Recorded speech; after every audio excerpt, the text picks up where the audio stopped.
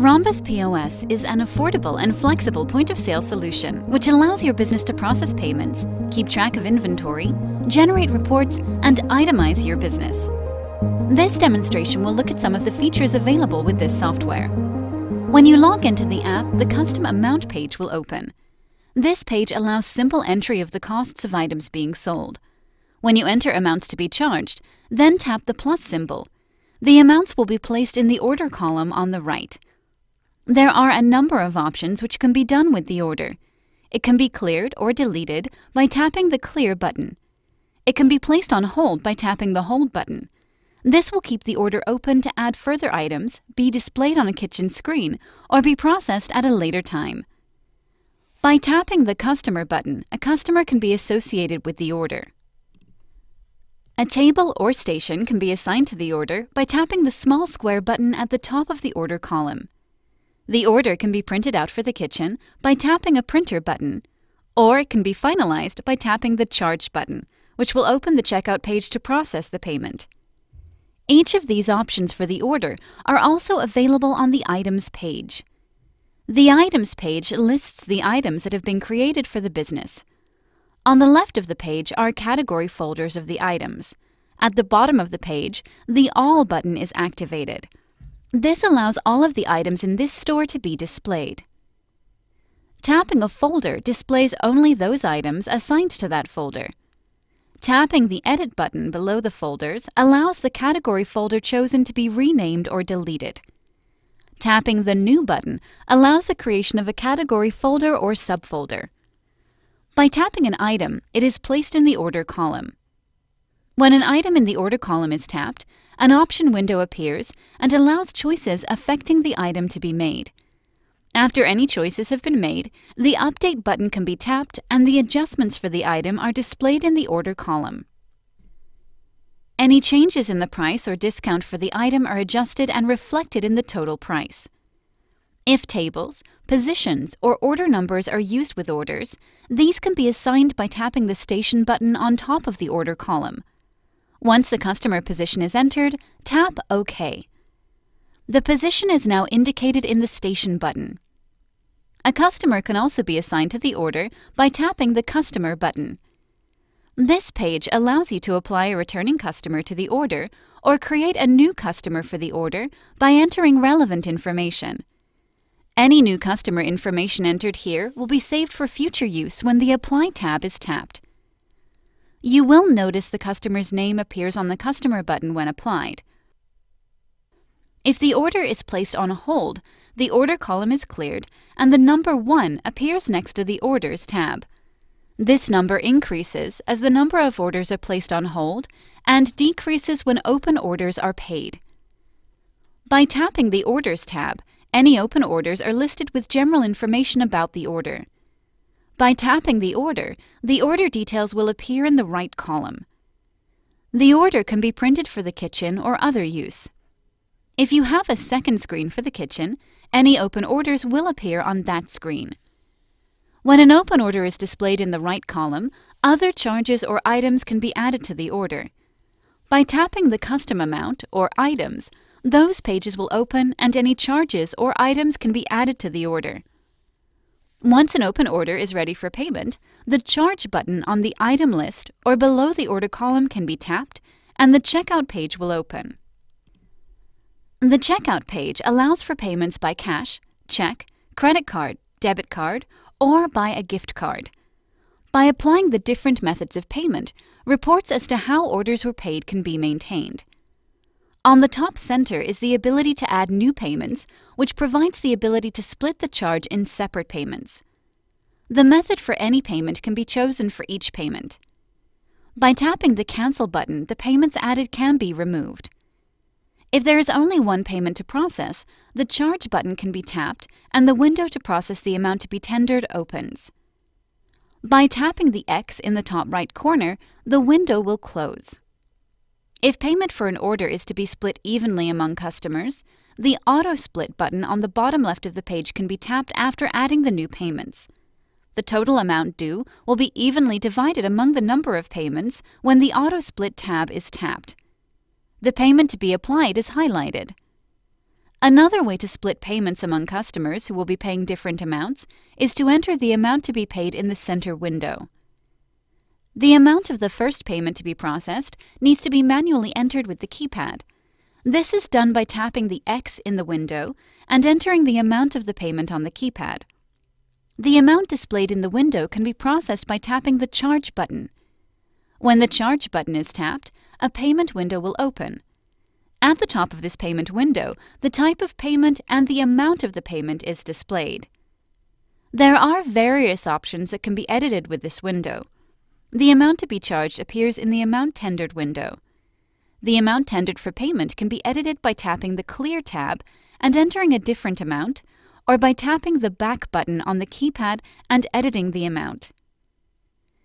The amount tendered can also be changed by tapping one of the amounts below the keypad that is rounded up to the nearest dollar, $5, and $10. If the amount tendered is different than the amount charged, the change due will automatically calculate the difference. Once the amount tendered is correctly entered, payment can be processed by tapping either the Receipt options or the Apply Payment tabs. If the Apply Payment tab is tapped, a small window opens and the cash register automatically opens.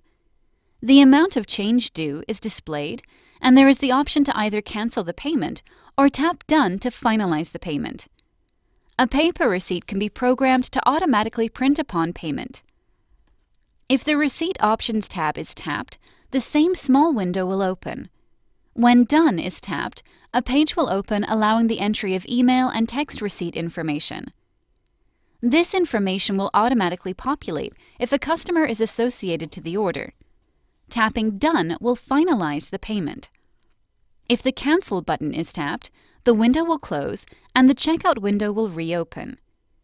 If the Done button is tapped, the payment will be processed and the checkout page will reopen if any balance for the order needs to be paid.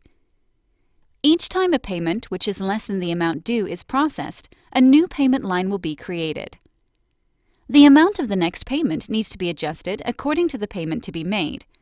If it is less than the amount due, it will create another payment to be made until the amount due is paid in full. If a payment is to be paid by a credit or debit card, and the credit debit button is tapped for that payment, a tip receipt button will appear, allowing the option to provide a tip and receive receipts by text or email. By tapping this button, a window will open providing tip options, receipt options, and a signature line. If a customer has been applied to the order, their information will automatically populate the email receipt and text receipt fields. Standard percentages can be applied as a tip or a custom amount can be entered by the keypad. The signature line can be signed on the screen with a finger, and if corrections are needed, there is a clear tab. Upon completing the information, the payment can be cancelled or charged. When the Charge button is tapped, a window prompting the card to be processed will appear. Once an order is closed, there is the ability to make refunds. This is done by opening the Orders page and tapping on a closed order. This window allows individual items to be selected and the returning refund calculated. After selecting any items to be refunded, the refund receipt can be printed and the amount refunded. The slide-out menu allows system, locations, and hardware changes to be made. The Hardware Setup page allows the connection of payment terminals and printer setup. There is the ability to connect two printers to the app. By tapping the Select Printer button, a page will appear listing the available printers to connect and the ability to select the interface for those printers.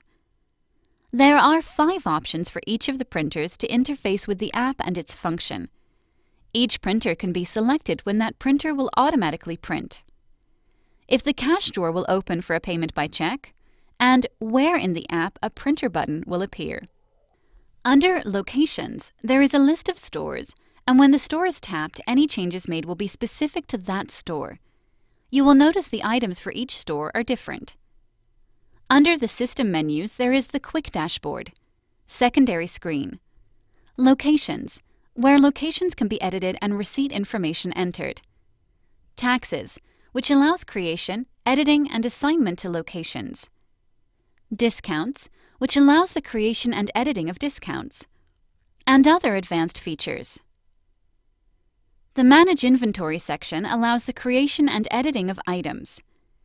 When tapping the Manage Inventory option, a page opens allowing items to be searched, edited, and created.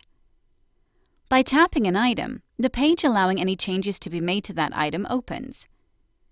Each item can be assigned to any existing category folders or subfolders, be included as inventory to any location, apply appropriate taxes for the relevant location, and edit any fields that relate to the item. Any options can also be added, edited, or removed. When the editing of an item is finished, it can be saved with the updated changes by tapping the Save tab in the top right corner of the page. A different picture can also be associated with an item. Pictures for items are created by tapping the camera icon. Available pictures are displayed according to the name of the item. There is also the ability to take a picture of the item with the device, choosing a picture from a gallery on the device, or providing a URL link to a picture.